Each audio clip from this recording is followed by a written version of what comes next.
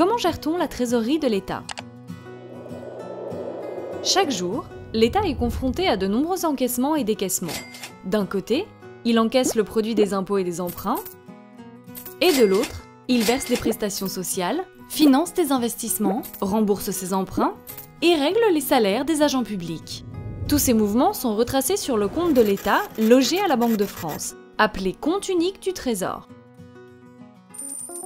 Pourquoi unique? Il est unique car il est commun à l'État, mais également à l'ensemble des établissements publics et des collectivités territoriales.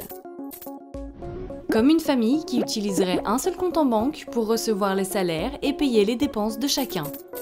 Cette unicité permet de mutualiser la trésorerie, ce qui augmente les ressources et permet donc d'émettre moins de dettes pour assurer le financement de la France. Comment l'État pilote-t-il ce compte? Le compte unique du Trésor est géré au quotidien par l'agence France Trésor. L'État doit verser en temps et en heure les salaires et les prestations sociales, mais aussi rembourser ses dettes. La trésorerie doit donc toujours apparaître en quantité suffisante pour que l'État puisse honorer ses engagements financiers. Pour cela, l'AFT réalise un travail de prévision à court, moyen et long terme du solde du compte unique du Trésor.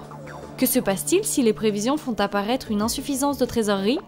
Dans ce cas, il revient à l'AFT de mobiliser de nouvelles ressources en émettant des titres de dette à court terme, les BTF, bons du Trésor français. En effet, les traités européens interdisent à la Banque de France d'accorder des avances à l'État.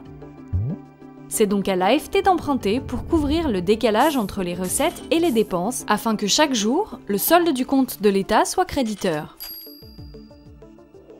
Découvrez les autres tutos de l'agence France Trésor sur notre site www.aft.gouv.fr.